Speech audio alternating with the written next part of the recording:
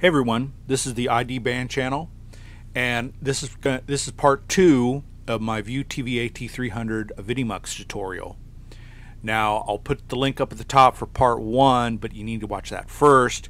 It goes into how to record shows over the air with the View TV, how to say how to record them, move them over, edit them, what an MP 4 is inside and how to meticulous, meticulously go through each frame, cut out the commercials, sync the audio, basically end up with a MTS file or MPEG file that is ready to process in part two. So you should have uh, several MPEGs at this point if you've watched part one. And thank you for your patience. I'm working on new software for this video and it's taken me a while to get up to speed and get everything ready. So um, I've got PDFs and I've kind of made some cheat sheets here. I've got a seven pager of my original for the X264. So there's going to be two parts. There's going to be one part just on XVID for standard definition. Anything off like antenna TV, Cozi, just standard definition, uh, you know, DVD type uh, uh, content. And then the second part, I'm going to go through um, X264 or the Advanced Video Codec. So I'm going to start with XVID first. And uh, you'll uh, hopefully I'll leave a little uh, time code, maybe uh, could be about 20 minutes from now, but I'll I'll try to have something up that you can skip to that. But there is going to be some things in here that uh, I'll I'll reference, so you might want to just watch uh, both XVID and the X264 because there's things in here that'll apply to X264. So, okay, first getting the PDFs. So go to my website. I've got the link down below, gammaphase.ultravista.org. Go to the search box there under the menu and put in one word, either XVID, X264, or PDF. And then in the search results, they'll have the the results and you can go to the web page it'll be like a scrolling you use the mouse scroller to move the pages, but uh, just click on the pages and then you'll download the PDF. Or it'll open and you can save it like there. So there's some cheat sheets. Make sure to scroll over for the cheat sheets. You'll notice the little icon or picture will have the different, you know, you can tell which ones they are. So let's get started uh, with the encoding part so here is Avidemux, and we've got version 2.5.6. Uh, there's uh, newer versions, but I've learned on this one, and it's easier for me to cut and edit with this one. Uh, and later videos, maybe a part three, I'll go into if you use a higher version, you can use a program to uh, basically make the same keys, like um, whatever keys you use, shortcut keys, they're different on the newer versions above this. But I, will show you a program to where you can hit the same key for the newer Avidemux version, so it acts just the same as this version. So anyway, you get all your MPEGs together put them on your hard drive. I'm just using the MPEG here, royalty free clip. And like I said before, these need to be all uh, compiled or put together so there's no commercial. The audio synced already on these. So, um, first of all, we're going through XVID. So uh, what I want you to do is go to MPEG-4 ASP XVID, uh, the third one down. So here we get to the configuration button And this is where all the stuff on the PDF is going to come into play. But before I do that, uh, have it all filled out using your PDF. And I think I'll just go through that right now. Um, but I'm going to use these different settings because there's some things I haven't really explained on the PDF. So let me just show you. I'm going to do the video size uh, 2 pass first. But here's a quick look at what you need to set. You'll have uh, notes onto the side to explaining why, uh, as short as an explanation as I can put on the page. So you need to follow follow. Uh, you know, if you want to quickly do it, just uh, X the uh, and put in the numbers that um, I show you here. Uh, do not use the pack bit stream. Uh, that's not a very good compression. I know I have a question mark, but leave that blank. Make sure you mark all these settings and this is the final. So that's a quick view of my cheat sheet there. Now let's get to uh, what I'm doing here. Now I use X26 or XVID, I'm sorry, for standard definition. Um, there's a lot of westerns I've recorded and so all the settings that you saw there are basically all entered because what I did was once I entered everything, I hit save as, and you can save the show that you're working on, label it whatever show you're working on, and then the constant quantizer number. Uh, that's a very important number, and it's right here. So instead of doing the quantizer, I'm going to tell you how I arrived at that number. What I did at the very beginning is go to video size to pass so I wanted it at a certain file size. So I'm going to put 250. That's kind of where I land on the file size. And then I would hit OK. And let's say I have all this set. And it's going to be AVI. So what I do at this point, and if you're doing this at home, go ahead and save this video. Uh, so that can be chunking. Uh, basically, what you're finding out is when you when you save. Let me go ahead and save video. I'll just put test AVI. Now this is an MP4. Okay, test. I've already done a test. So this is an MP4 but will it will still uh, do it.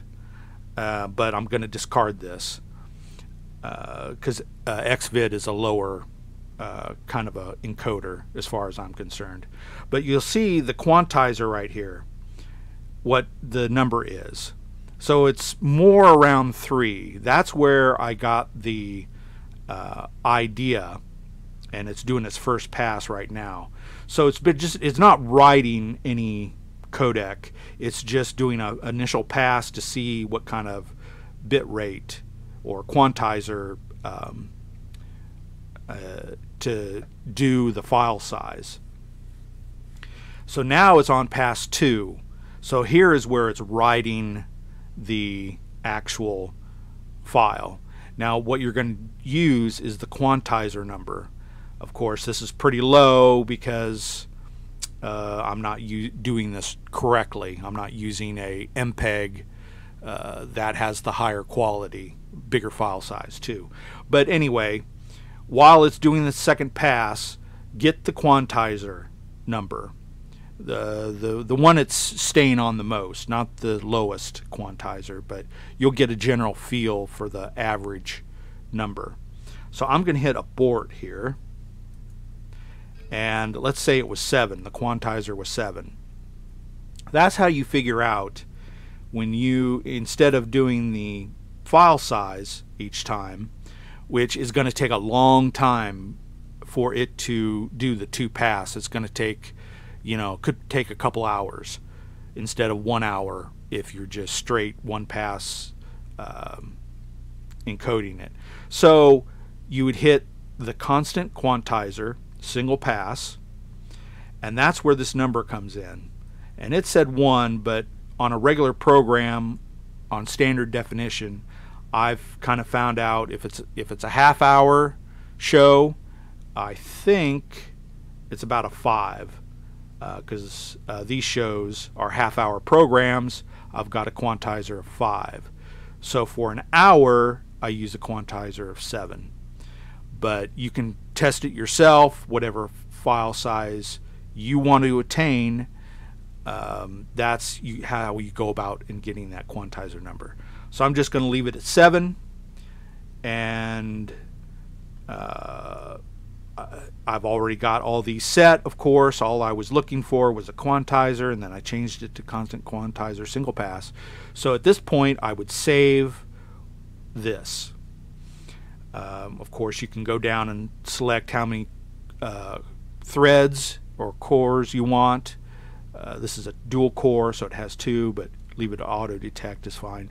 But at this point, you'd hit save as the like name of your show and the quantizer number you're using and save that. So if you're working on a certain program, you can just go to it and I recommend you name these with a letter first. So like for uh, Laramie, I just put like L1, L2. Uh, so when you're using a quick, uh, like just the keys, like uh, I did hit the space bar and then I would just hit L and then it would go down and enter. So that's a quick shortcut. Uh, if you just name it, it might be harder to use a special program to just auto select. And I'll get into that in part three.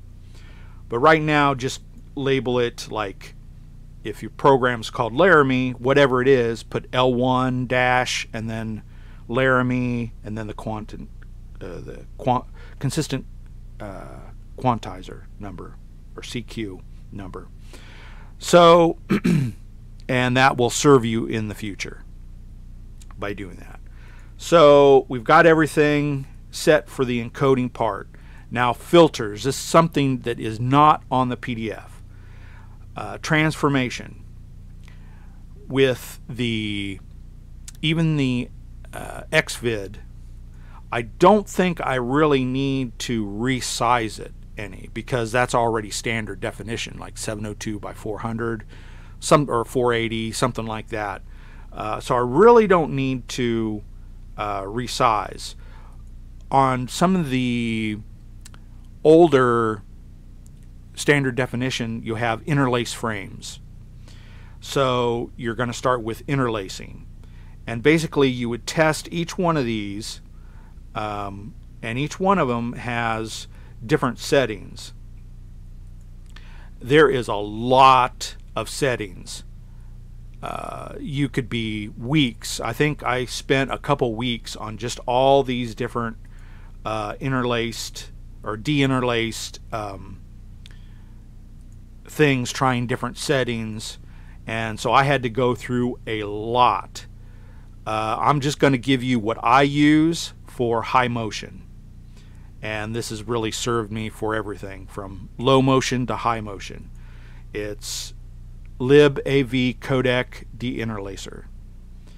And it's not very sophisticated, it just has one setting uh, that I use all the time cubic interpolate. I've used all the others, and this looks the best for really high action uh, interlace frames. So I would just hit uh, cubic interpolate, hit OK, and do not click auto level. That will mess up your video, so don't touch that. So hit OK, and then you would have like a noise filter. What that does is since it's sending the high quality, it groups certain shades and colors together so it's so the encoder has a better time to or a better way to encode faster more efficient it does reduce the color and the grayscale. It simplifies it. So if you have a range of color and shade, it will try to simplify by grouping colors and shades together or kind of like an equalizer or a compressor kind of a thing to where if you have these little dots of gray it will smooth that out. If if one color is really close to another color and there's or another shade and there's more shade more of a standard shade then it will bump it up so it's all the same shade. So you get more of a smoothness uh, or you could get a if it's kind of a gradual if the original kind of a gradually goes into a different shade across the screen there's going to be like a rainbow effect or that's all I can kind of how to describe it. It steps in colors. So it looks like you're stepping up each color uh, step by step. Uh, so that is not that desirable. So um, in that case, and I always get these this confused. So M-Player Denoiser 3D is I what I use for standard definition. So the Luma is the black and white, Chroma is color, and the temporal strength is just the if you put uh, frames up against each other, it's it's that version. So I've messed around with this, and I think I put like 26 at one time, and you'll get a ghosting effect. So a image on one frame will bleed in way far ahead into another frame. So what I like to do is I like to bump up the black and white probably about a point so it's like 5 and then the color, I like I don't like it to mess around with the color as much. So I might bring that down to like 1 and then bring the temporal strength maybe up to 7. But um, these just having this is fine until you can figure out uh, maybe look at your video close to see if if it's it's touching the color too much or the black and white, and you can play with these settings. Um, I have, uh, and a couple points won't really, you won't really notice it visually very much. The temporal strength you might. So play around with that, but leaving these settings are, is probably pretty standard. So there's other uh, delogo. Um, you can use that. I usually don't so I'll leave that out. Okay, that's pretty much all I do for standard definition in Xvid is uh, these two filters, and that should that should uh, take you a long way. So we're done with filters. Now the audio. Uh, for Vizio TVs, um, there's a lot of AAC, uh, but I use MP3. So I I think on 90% of or 99% of my videos, uh, basically I use MP3, and I guess I really didn't get into the network storage devices I use. So um, this is this is all what you probably should use just as it comes up. Uh, filters. Um, probably no change if it's standard definition. Uh, on the X264, I put it to stereo, but that should all be ready to go, and it's AVI. So we're ready to go here. Um, usually the audio, it's the main. There's only one main track here, um, but let me get to the network storage device. So when you uh, make an AVI, I've got a Western Digital My Cloud. I've got a couple of them, and that they are great for AVIs. You make this, and I can stream this on my Vizio TV. Really easy. So AVIs are really good for Vizios, MP4s are not, and those are X264. I haven't really found a good way for the cheap Vizio TVs to view it unless I use Plex. So you might want to do all your videos in XVID.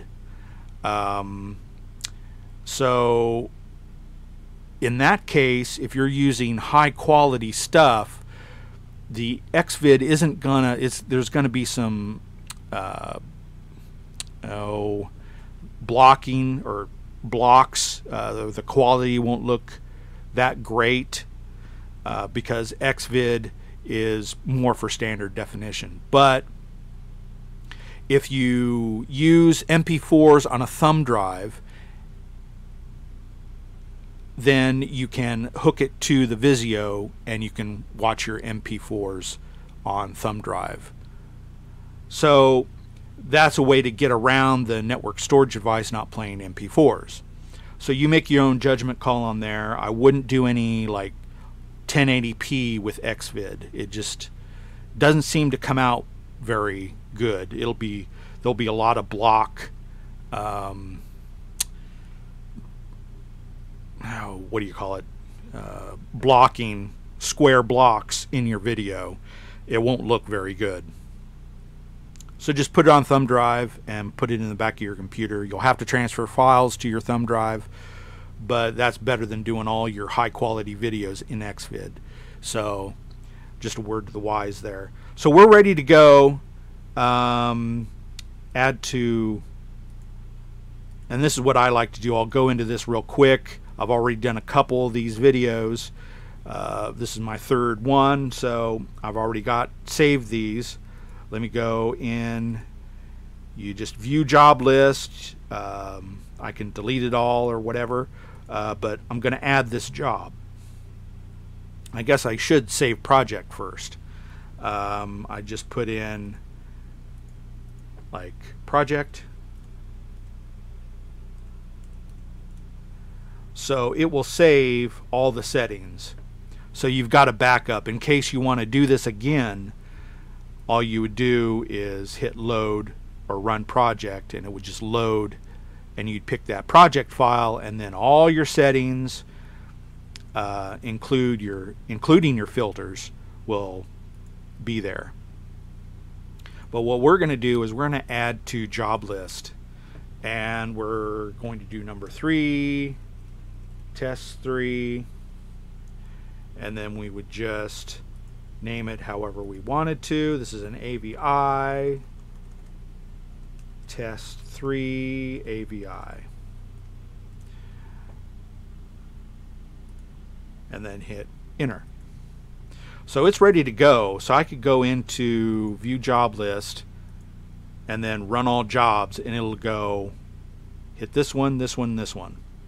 And it'll just keep going unless it has like a audio uh, multiple audio then it might pop up and you'd have to click it. But otherwise well there's programs out there I might get in part three that will automatically click um, the message box so if there is uh, multiple audios when it loads it will just click it and then it'll continue running so, so stay tuned for part three. I'll probably have that up at the top, that link, uh, once I create part three. So we can run all these at once. All right, I think that would make our AVI. Uh, and in part three, I'll also talk about tagging your videos, putting information in there. So I think that's pretty much it. You might want to slowly um, go over this video and write down these settings if you don't have the PDFs. Um, that's why I'm scrolling through the little cheat sheet right here so you get a view of that. So let's start with, um, uh, let's go to X264 now. Um, I'm trying to think if I missed anything. Uh, main track. Uh, configure. I leave this alone because usually I don't have an AVI that's over 4 gig. Um, no, the shift is already done.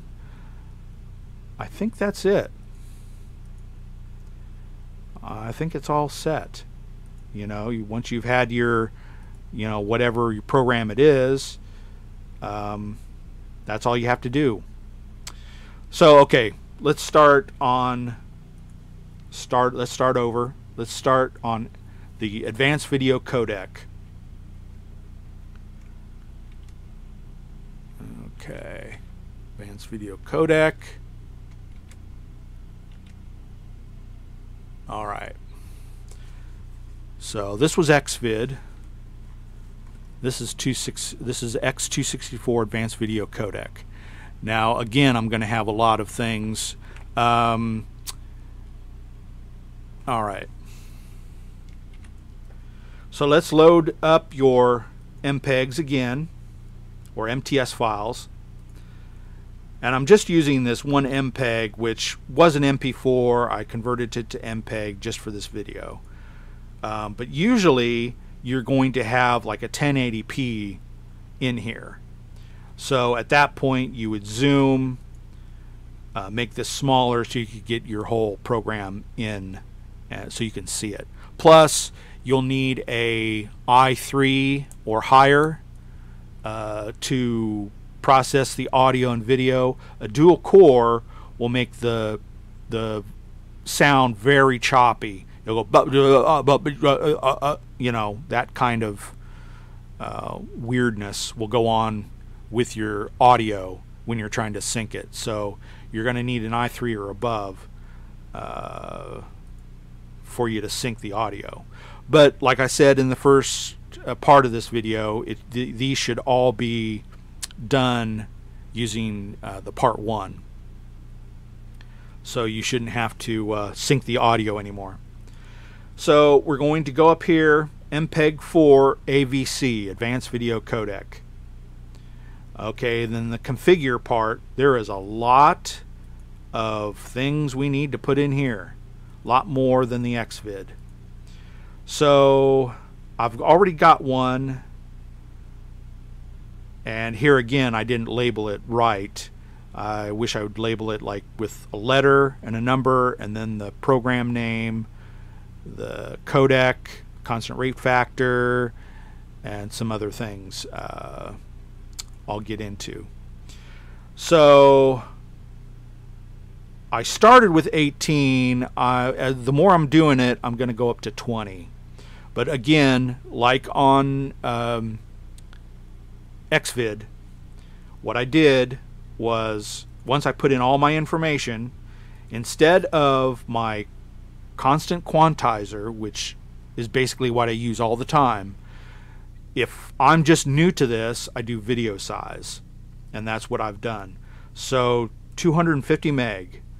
Like again, I told you in XVID um, uh, portion that the reason why I put it down to 250 here is I've got a Western Digital My Cloud. It doesn't like the higher uh, uh, file sizes, uh, like uh, the 1080p. If I were to not resize this down to a lower dimension, like if I just take this 1080p video and uh, not change the the uh, dimensions of this, that would be a like a, a gig file. So 250. So we're going to resize this video. Now, if you want to keep 1080, what you're going to have to do is do a more reasonable file size like um, 500 meg or above. Uh, a lot of times I'll see movies at 1 gig. So uh, for that higher, if you want to that 1080p and above, you're going to have to put a, a, more realistic target video size. But since I'm recording it, or I'm going to um, resize it to 720 by 400, somewhere around there, I'm going to do 250 meg from the file size. That should be plenty. Uh, yeah, video size. And then I'm going to do a whole program. And while, and like I did in X, Xvid, I'm just going to go ahead and save this video to show you uh, test for I'm just going to quickly start this. Okay so this is the first pass and it's going to go on for for several or maybe an hour 40 minutes an hour depending on what CPU you've got. And what it's doing is it's judging each frame by the quality. So it's getting an idea of what kind of quality this needs. So when it does the second pass it can put each frame to that quality to end up at 250 meg. So I'm going to hit, I'm, well, I'm just going to leave this go because what I'm looking for is once this does its first pass, and since this is a small video, it will end here real quick. It's like only a four minute video. So it's going to go into the second pass here, and that's where I get the quantizer number. So as it goes, it'll uh, get the quantizer number. Now, this says zero is because this is a small video and it's already been optimized and it doesn't know what to think. Uh, it's not really getting a, a, handle on the file size. But normally on a real big video, this quantizer is going to go up to like 18, 19, 20. So I'm going to hit pause and, and just abort here. So let's say it said the number was like 18. So we would change this to a constant quantizer of 18. Or if I wanted it a little little lower, uh, I wasn't sure that it'd quite get the and that's just the video part. So it, it doesn't take into account the audio. So it's going to be bigger than 250, I believe. So I usually just bump it up one. Uh, and since I've done this so long, I usually use 19 or 20 sometimes. But whatever number you start out with, it'll be somewhere around that range. So that's the most important number right there is this quantizer number. So let's go to X264 here. The you can see my notes here. Um, this is the target uh, dimension. Now, the reason why I do that is I want this to be playable on my uh, tablets and my TV. This is such a good um, codec that um, even even when it has to uh, zoom out or um, balloon up, it still has a great looking quality to it, even on a, a big uh, 55 inch screen. So I'm not worried about reducing this in size because I see what it looks like on a regular TV and you there there it's great quality even when it has to resize to the bigger screen.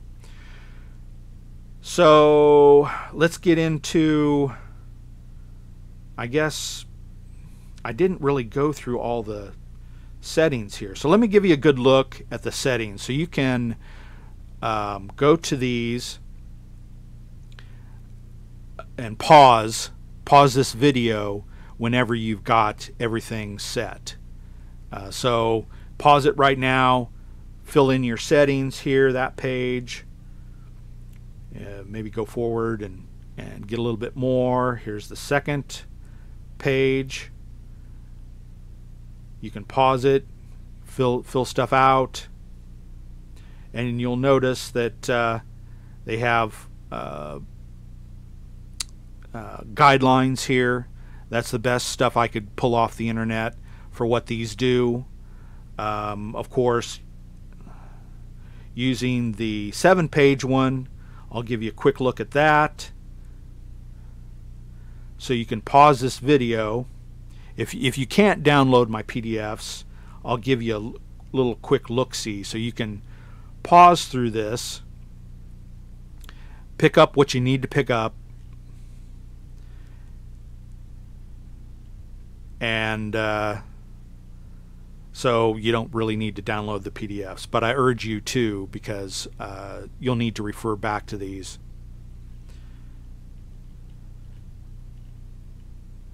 So there's, let me see, what page am I on? Uh, six. Lot of stuff here. I have a little bit more um, notes on here. And that's it, seven pages. So hopefully that gives you an idea. You can kind of go back through there to pick all these uh, different settings.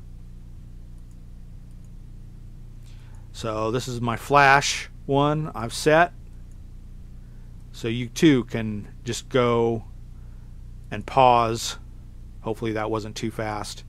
Pause all my settings and to fill yours out. So filters. Here is what's not in the PDFs.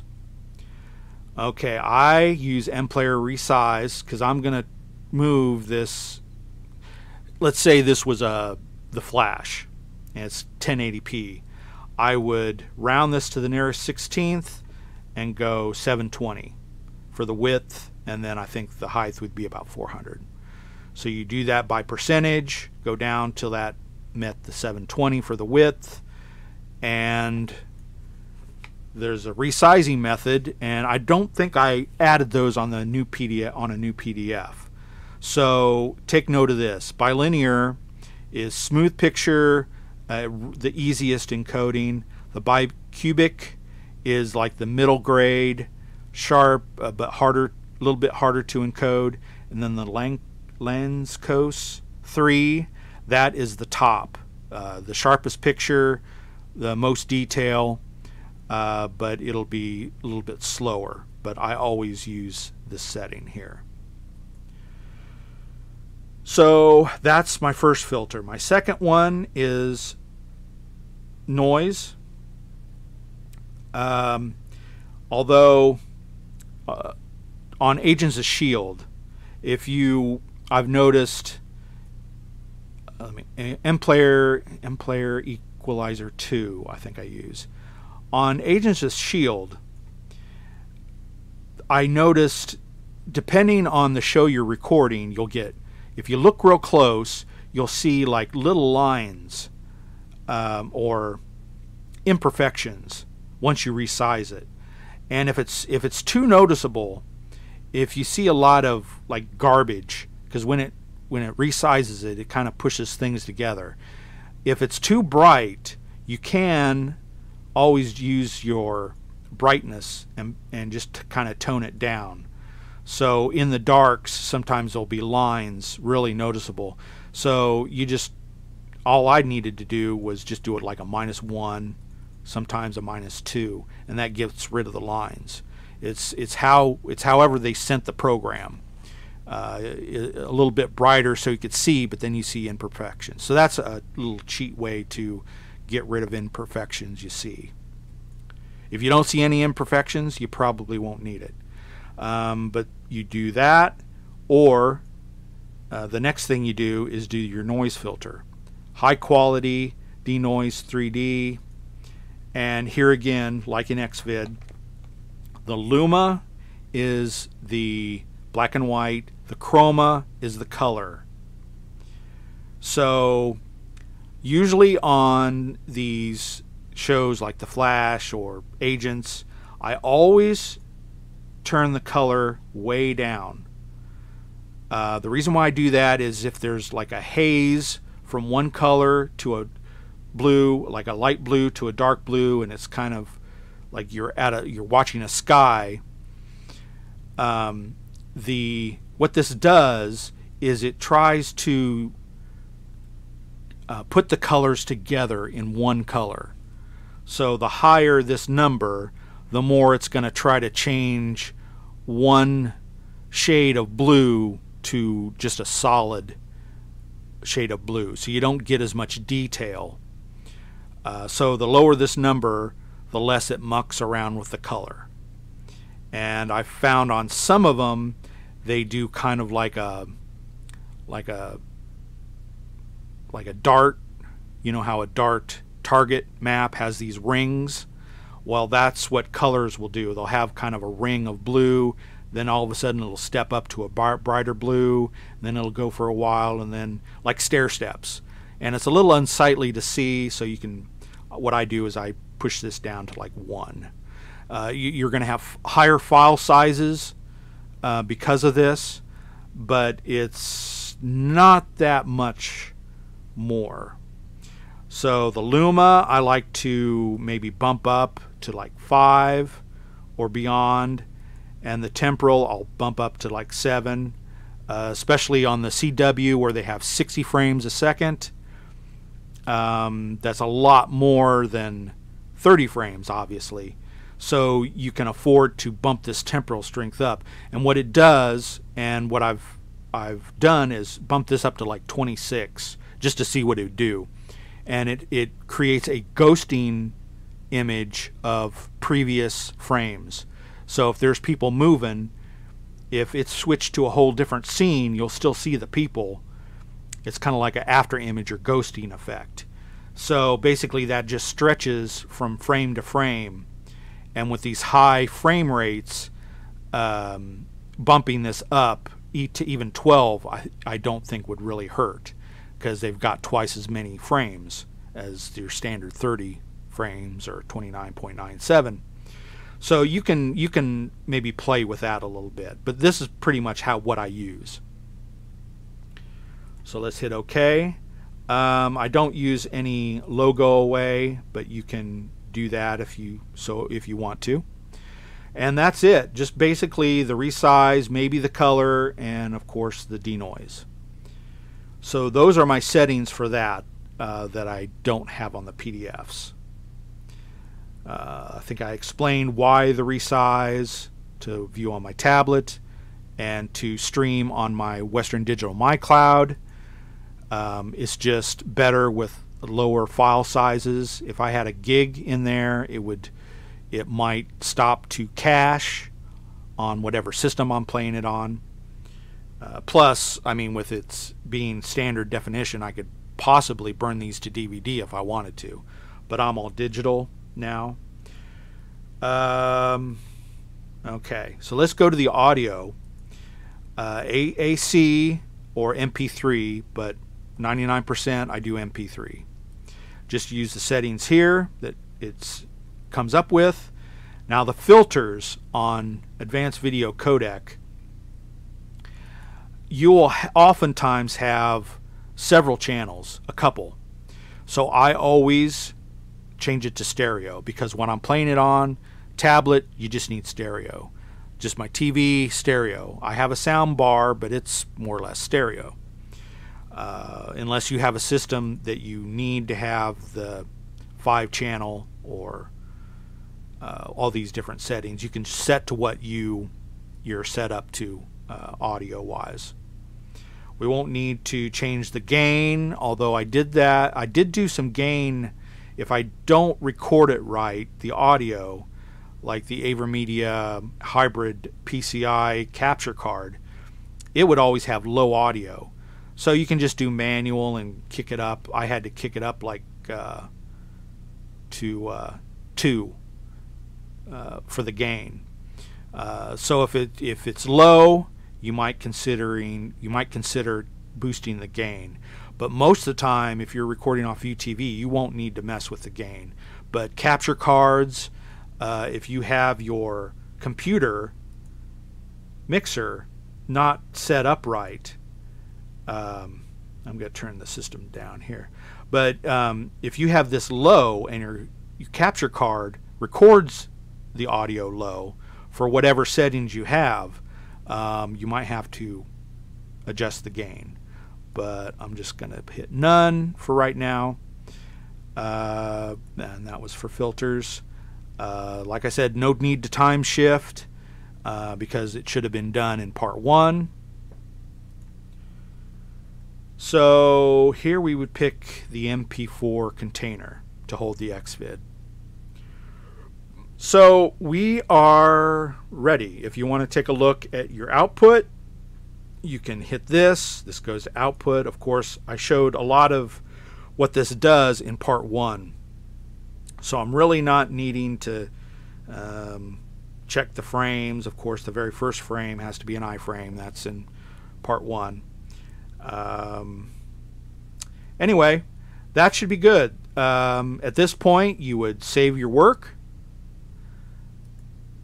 So you would just put project.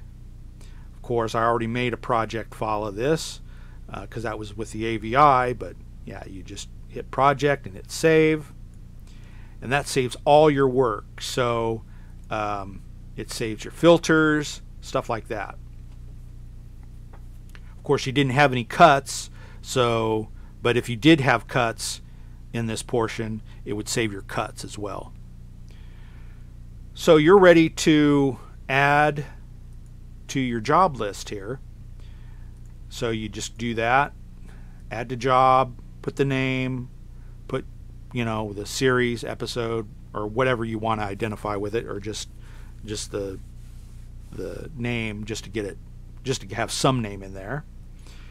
Or you can just right now you can just save it. Save video. You just pick the name MP4 and hit save and then it'd start crunching. So if this is an hour, it'll probably take like with my dual core it'd take uh, maybe an hour. With my uh, i3, it takes like maybe a half an hour, 20 to 30 minutes, somewhere in there.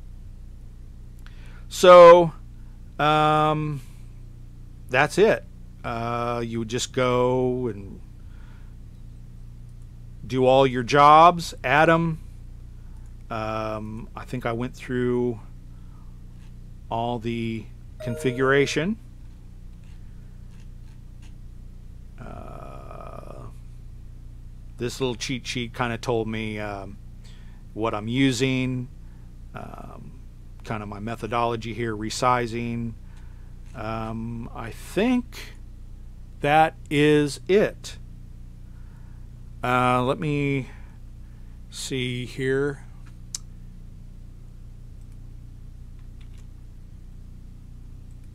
Okay.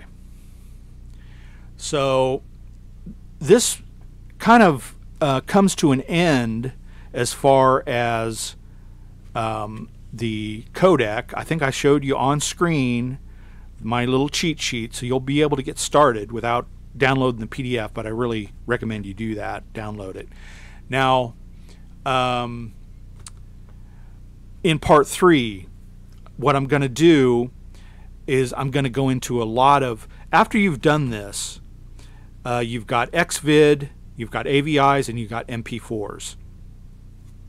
So I'm going to go through kind of some really neat neat things you need to have. Computer programs, um, like some tag programs to write the comments, the date you made it, um, you know, just some tag information. I'll go through the AVI and MP4. There are certain programs I use. Um, and if you're streaming on a TV, um, uh, especially if you're putting these MP4s, uh, especially even if you have a network storage device, the only way you're going to play MP4s if you've got a Vizio is put your MP4s you just made, put it on a thumb drive or a hard drive, a USB uh, 2.0 hard drive, and that way you'll be able to string it, stream it on your um, TV using the USB in back of the TV. I recommend a um, a uh, extension cord so you don't have to go in back there and reach your arm around. Get a little extension cord so you can just have it in front of your TV. But that's mostly how I what I just showed you, when I make my MP4s, I'll put them on here to view it. Um, so, or uh, MPEGs, just the solid MPEGs will work. Uh, you don't even have to encode these. you can have the 4 gig MPEG files and the TV should run it fine without any glitches. But uh, when you put your MP4s on here, um, because you can't use the Western Digital MyCloud to stream, the DLNA section will pick up AVIs before MP4s or MKVs. Uh, MKVs will not work either on the TV. So if you put an MKV on here, it won't recognize it. So there's converter programs I'll get into to part three, how to change your MKV to MP4 um, if you download MKVs. Uh, I've just got a whole bunch of converter programs uh, that I need to show you.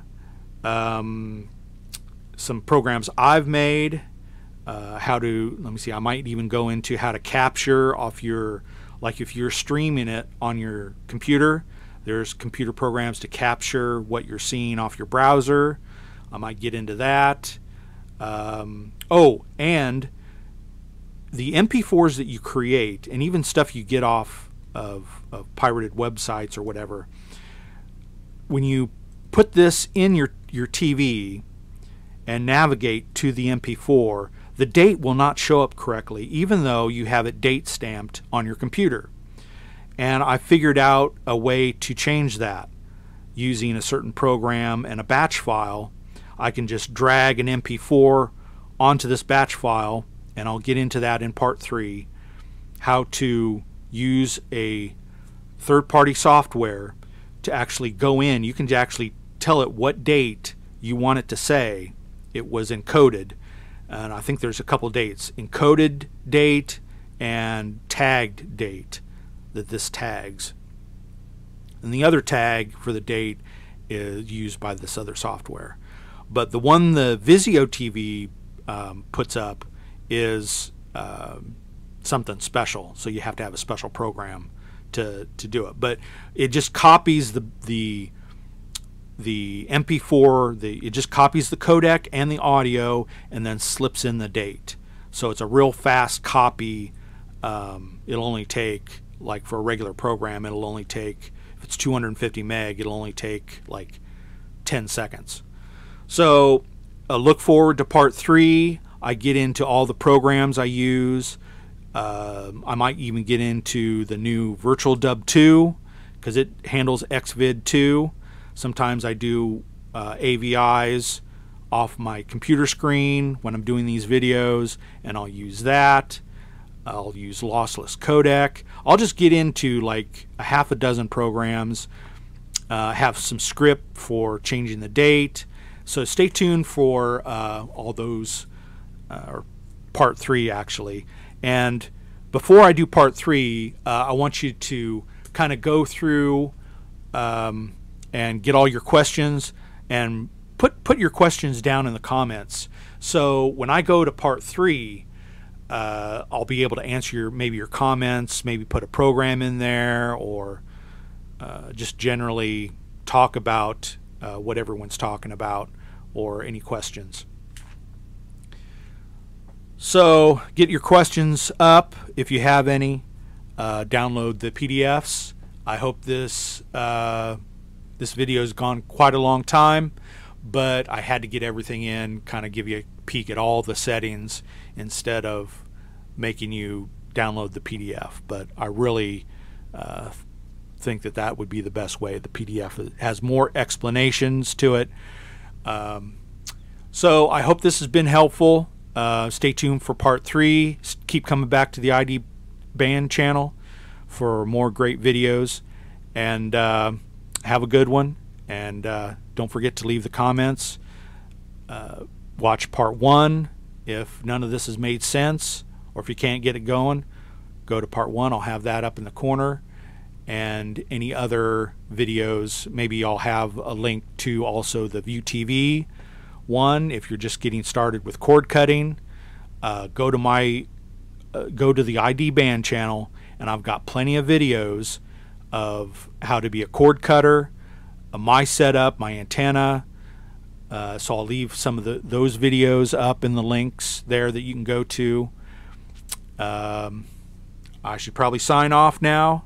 Have a good one. Hope this helped. Uh, keep coming back to the ID Band channel and subscribe if you like. Thanks.